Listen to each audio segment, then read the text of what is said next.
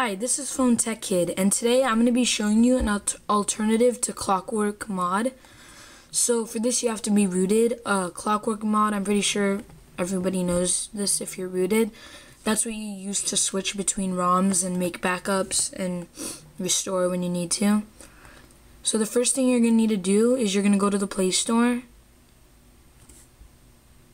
and download sorry, download an app called Goo G O O Manager. So that should pop up and just say Goo Manager Beta. So you just install that. The next thing you're gonna do is after you have it installed, it should look like this, like a green. Just click on that.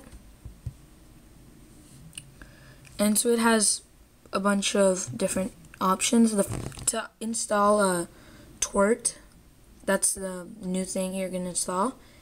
You click up here and press install open recovery script. And that's going to install all these things for you and you just follow that. And you don't have to press anything. It'll just install everything and it'll take you back to this menu. And after that, you click on reboot recovery. Yes and it should take you into recovery mode. And instead of Clockwork Mod, you're going to see this. So it's going to say Team Win, and it should slide up like a curtain. So this is touchscreen. So the first thing I suggest you do is you go and make a backup. So click on backup, then you type in your name, and then that you want for it, and then you just slide it, and I'll make a backup. And as you can see, everything normal. You can oops you can install zips from SD card or external SD card you can wipe your data which is cache, factory reset, Dalvik cache system. That's what you're to have to do every time you switch between a ROM. You could restore, you could look at the settings, mount, advanced, and then reboot. And when you're done, you want to reboot, you click the bottom it says reboot. Click on that. You could power off recovery bootloader. You click on system.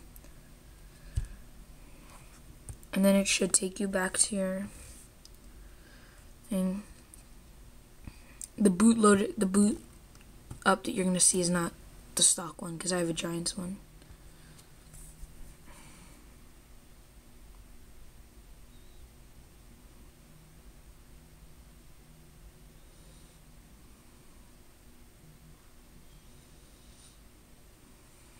and as you can see it's rebooting. And there you go. So that's how you get TWRP. And that's only if you don't want Clockwork Mod. I think TWRP's a little better. I had problems with Clockwork Mod like in uh, doing restores. But on this it works fine so I suggest you switch to TWRP and that's how you do it. Thanks for watching and I hope you subscribe